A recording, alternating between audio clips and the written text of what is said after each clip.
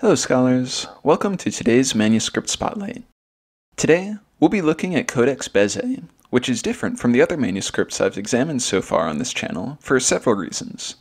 Most notably, this manuscript is the oldest extant example of an already rare type of manuscript, a Greek Latin diglot, meaning that the text is recorded in both Greek and Latin. In this case, the Greek text is on the left side when the book is opened, and the corresponding Latin text is on the right side. If you're familiar with a Latin version of the Bible, it's probably with the Vulgate, a translation into Latin that is still used by the Roman Catholic Church, though was produced by a commission around the same time that the Codex Bezae was written. While they are both Latin translations, the Codex Bezae records a more ancient version of the Old Latin translation that was in use around the 3rd century AD.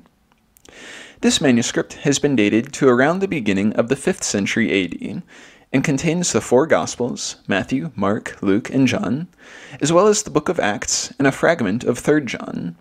This manuscript contains numerous unique readings and variations, some of which I'll be covering today. I think it's appropriate here to take a brief detour into the rabbit hole of textual criticism, which I have previously only slightly covered on this channel. New Testament scholars have developed a method of categorizing New Testament manuscripts based on their variations, and these categories are known as text types. The three primary text types are Alexandrian, Western, and Byzantine. Codex Bezae belongs to the Western text type, which is an ancient textual tradition that is characterized by a relatively high frequency of scribal errors and free use of paraphrase. All the other Greek manuscripts I've read on this channel so far have been of the Alexandrian text type, which is the oldest and most well regarded of the text types. Despite being the oldest, most Alexandrian manuscripts have only been rediscovered relatively recently, mostly within the past 200 years.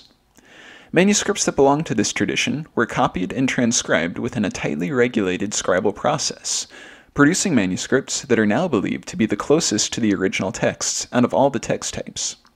As a result, nearly all modern Bible translations base their text off Alexandrian manuscripts.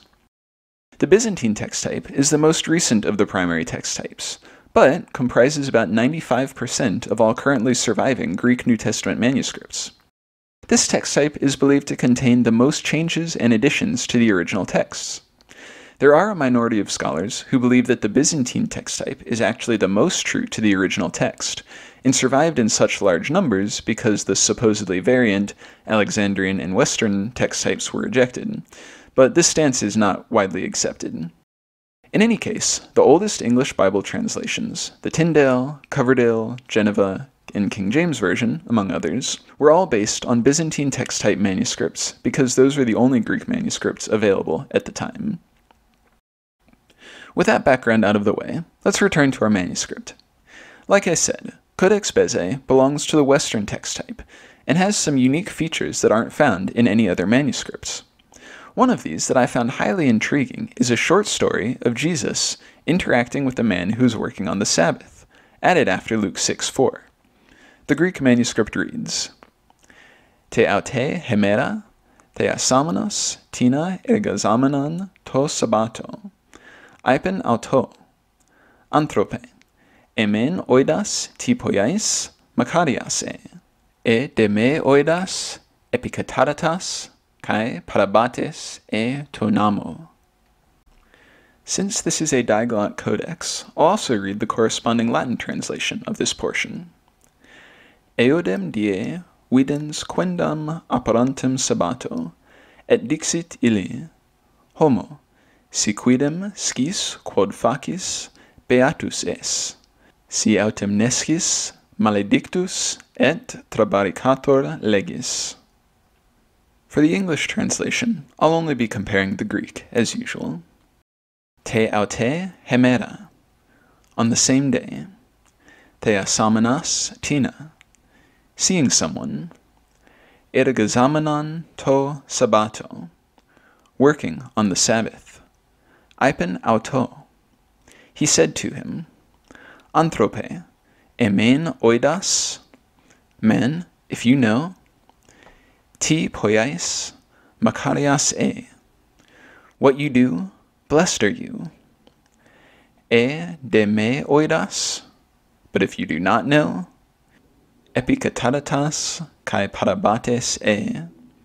You are cursed and a transgressor, tonamo, of the law. This interesting passage seems to show Jesus encouraging a man to work on the Sabbath, given he has the proper motivation. While this story is intriguing, it is probably apocryphal since it hasn't been included in any other surviving manuscripts, and so shouldn't be given too much weight. In my opinion, this is the most interesting of the notable readings from Codex Bezae, and nearly all the rest of the intentional changes appear to be made in an attempt to harmonize differences in wording between the four Gospels.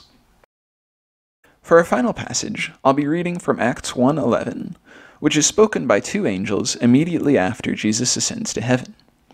The Greek text reads, Andres Galilaioi, ti estekate en blepontes eis ton uranon, utos ha Jesus, ha analamphthais afhumon ut hos eleusetai han trapon etheaseste auton preomenon eis ton uranon. In the Latin text of the same passage, Viri Galilae, qui stabas aspicientes in caelum, iste Iesus, qui adsumptus est a vobis, sic enim vignet, quam ad modum vidistis eum euntem in caelum. Finally, for the English translation from Greek, Andres Galilaioi, men of Galilee, Ti estekate, why do you stand? En blepontes eis ton uranon, looking into heaven. Utos ha Jesus, this Jesus, ha analamphtheis af humon, who is taken up from you, utos eleusetai, will come, hantrapan etheaseste auton, in the same way as you saw him, paraiuomenon eis ton uranon, go into heaven. The rest of the book of Acts tells the story of how Jesus' disciples, encouraged by this glorious hope of Jesus' return and animated by the power of the Holy Spirit, traveled throughout the ancient Near East, spreading the good news of Jesus.